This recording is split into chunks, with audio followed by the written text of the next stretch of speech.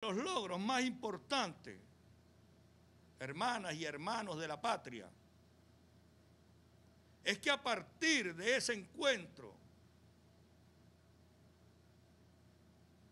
de ese saludo de mano y de esa conversación sincera cara a cara, se pudo entender que por encima de todo debe estar garantizado la paz en la región.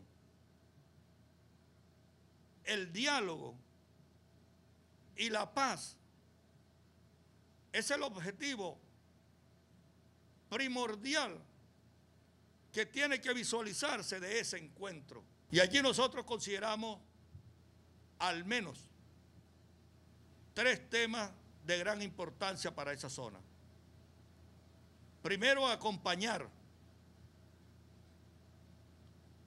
la inversión y la creación de mecanismos para el desarrollo social y económico de la región de la Guyana Esequiba. Como segundo aporte, nosotros decíamos que es necesaria la creación de una oficina diplomática un consulado en esa zona. Como tercer punto, nosotros estábamos hablando de la necesidad de llevar a esa mesa de diálogo o de llevar en los escenarios de diálogo subsiguiente la necesidad de solicitar por parte de nuestro gobierno una indemnización al gobierno de la Guayana Esequiba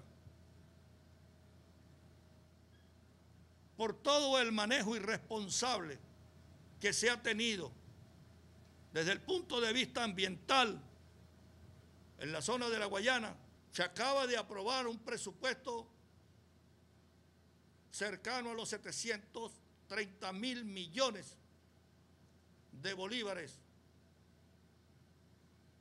donde resalta como nota distintiva, hermanas y hermanos, que el 77% de ese presupuesto ha sido destinado a la inversión social para proteger de manera prioritaria a nuestro pueblo.